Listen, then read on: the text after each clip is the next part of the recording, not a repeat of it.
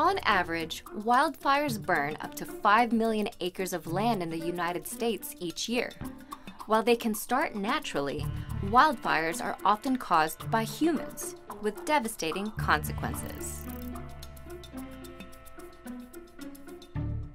Wildfires are large, uncontrolled infernos that burn and quickly spread through wild landscapes.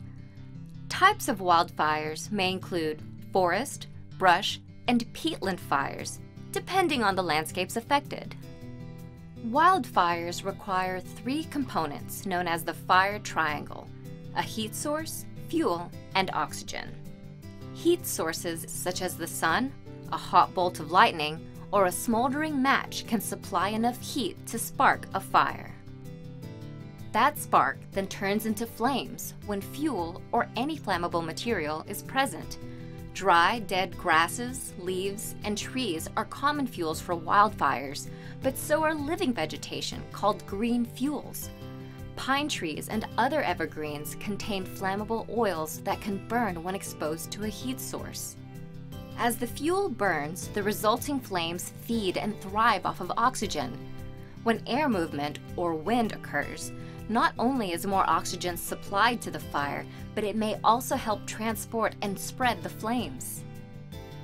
Since wildfires occur outdoors, they have a nearly endless supply of oxygen from our atmosphere to burn. Many wildfires are the result of natural causes. A warmer climate and weather patterns like El Nino can create the hot, dry conditions necessary for fires to erupt. However, about 90% of wildfires are caused by human activity, such as campfires that become uncontrollable, improperly handled cigarettes, or arson. Although wildfires occur worldwide, they are most common in the western United States. There, high temperatures, drought, and frequent lightning and thunderstorms can create the perfect setting for wildfires.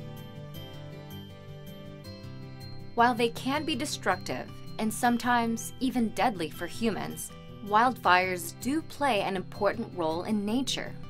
They can help a forest by removing harmful insects or diseased plants. And they can clear thick canopies to help sunshine reach seedlings on a forest floor. By being aware of the conditions necessary for wildfires to occur, they can be managed and prevented, thereby saving lives and making way for the positive effects of wildfires.